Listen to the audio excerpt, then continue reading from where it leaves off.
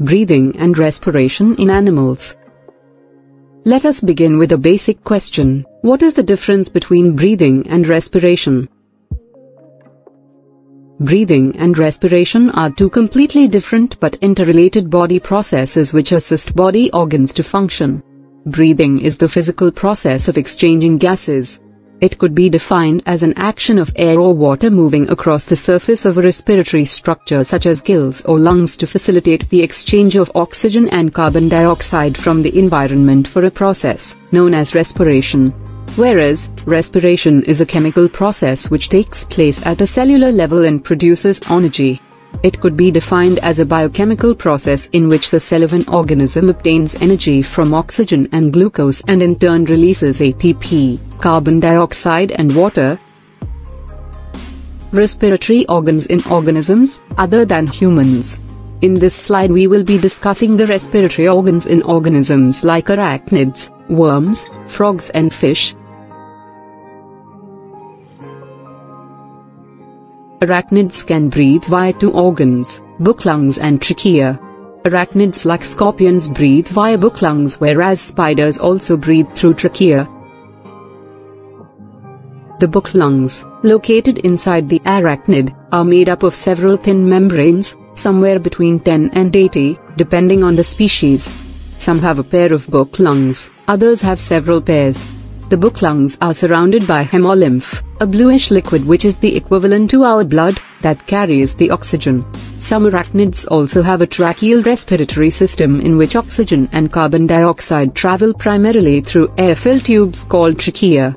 Usually the tracheal system penetrates the cuticle via cleusable valves called spiracles and ends near or within the tissues in tiny tubes called tracheoles. The trachea primarily serve as pipes that transport gases between the spiracles and the tracheoles, whereas the thin-walled tracheoles are thought to be the main sites of gas exchange with the tissues.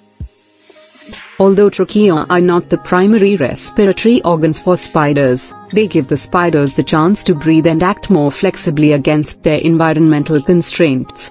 The class Hexapoda, insects and springtails, and Myriapoda, millipedes and centipedes, primarily breathe through trachea and spiracles.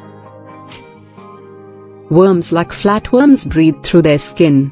Gas exchange by direct diffusion across surface membranes is efficient for organisms less than 1 mm in diameter.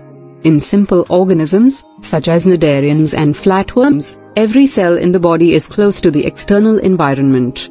Their cells are kept moist so that gases diffuse quickly via direct diffusion.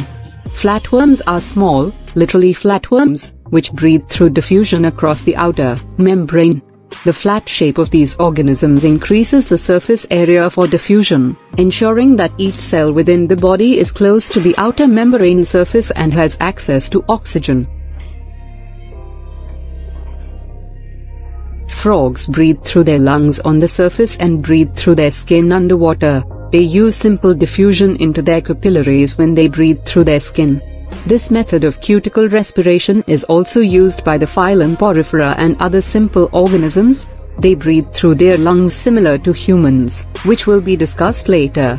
Other classes like reptilia, snakes, lizards, turtles, crocodilians, and aves, birds, primarily use their lungs for respiration. Fish breathe through their gills. Gills are branching organs located on the side of fish heads that have many, many small blood vessels called capillaries. As the fish opens its mouth, water runs over the gills, and blood in the capillaries picks up oxygen that's dissolved in the water. Then the blood moves through the fish's body to deliver the oxygen, just like in humans. All bony fish also have a bony plate called an operculum, which opens and closes to protect the gills. Now we will be discussing the human respiratory system. Parts of the respiratory system and their functions. Nose, pull air from outside your body into your respiratory system and, in the process, remove any dust from it using small hairs and some pathogens using the mucous membrane. Sinuses, hollow areas between the bones in your head that help regulate the temperature and humidity of the air you inhale. Pharynx, throat, tube that delivers air from your mouth and nose to the trachea, windpipe. Trachea, passage connecting your throat and lungs. Bronchi, Tubes at the bottom of your windpipe that connect into each lung. Bronchioles, small branches of the bronchial tubes that lead to the alveoli. Alveoli, tiny air sacs in the lungs where the exchange of oxygen and carbon dioxide takes place. Capillaries, blood vessels in the alveoli walls that move oxygen and carbon dioxide. Lungs, two organs that facilitate in the diffusion of oxygen into your capillaries.